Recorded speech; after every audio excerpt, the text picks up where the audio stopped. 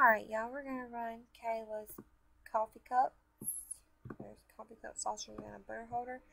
She realized the 10 spots at a dollar spot. Let's copy our list and go live at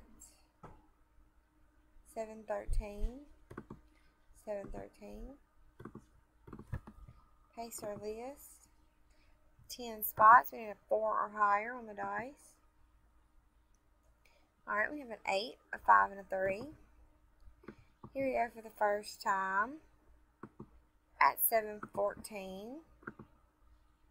After the first time, there are 10 items on the list, with Vicky on top and Vicky on bottom as well. The dice calls for an 8, so here we go at 714. It's 2, 3, 4, 5, 6, 7. After the seventh time, we have Vicky on top and Vicky on bottom.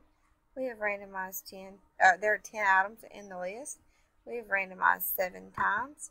Dice 5 and 3 call for an 8. Here we go for the last time. 714. Good luck, y'all. Alright, after the last time, spot number 4. Vicky Barnett, you're the winner. Congratulations.